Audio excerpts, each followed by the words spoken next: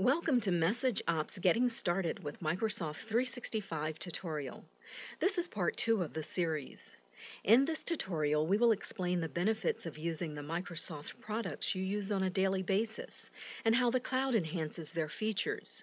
With all this discussion about the cloud, you may wonder what will change when you move to Office 365, or if there are any tasks you need to perform. You may also wonder if the change will affect your workflow. Generally, when you move to Office 365, you will continue working how you currently work, but you'll have more choices than you did before. With Office 365, you continue to use Microsoft Office with Microsoft services. As a result, we often hear that people don't even know they're using cloud services. While there are some differences, for the most part, you'll continue to use Office the way you did before. Office 365 works best with Microsoft Outlook 2010, but it also works with Microsoft Office Outlook 2007. One of the most popular features in Outlook is the ability to look up colleagues' free busy information and send them meeting invitations. This ensures that they are free at the proposed meeting time. You can integrate this functionality with other Office 365 services. For example, you can send a Lync online meeting request to your colleagues asking them to meet you in a Lync online session. Outlook and Microsoft SharePoint Online work together so you can post contacts to the SharePoint Online and use them in Outlook.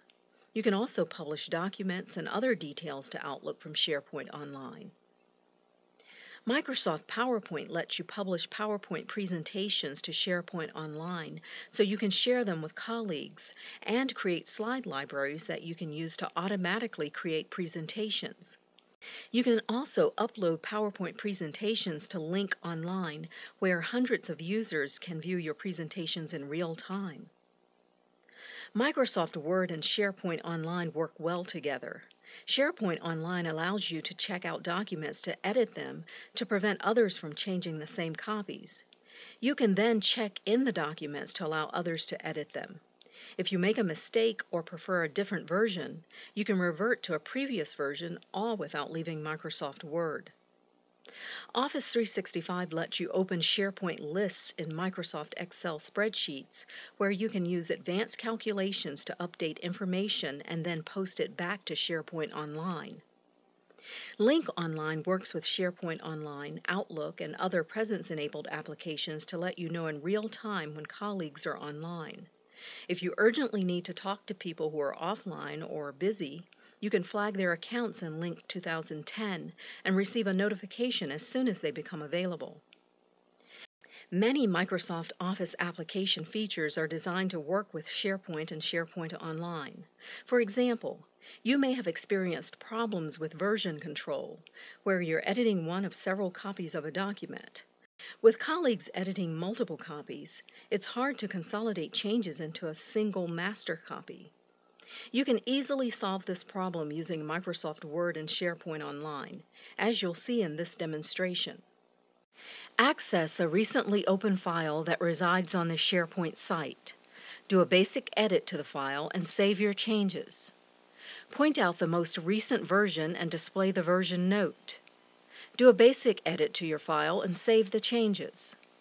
The version comment you created here shows up here you can easily roll back to a previous version.